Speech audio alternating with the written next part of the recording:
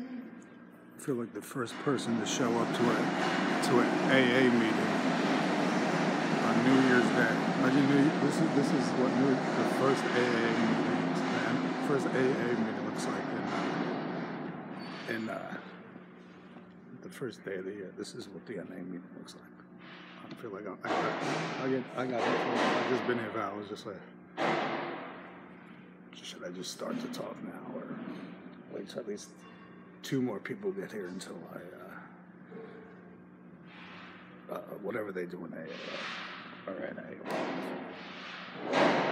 I don't know how people drink every day or even every weekend.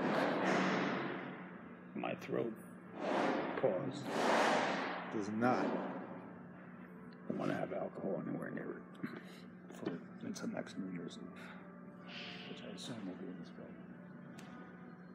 We're gonna end this transmission and wait till the uh, leader of the AA meeting gets here. Uh, and uh, yeah. Motherfucker. They brought that wall over there some shit. These motherfuckers are bitching at. I should check shit out.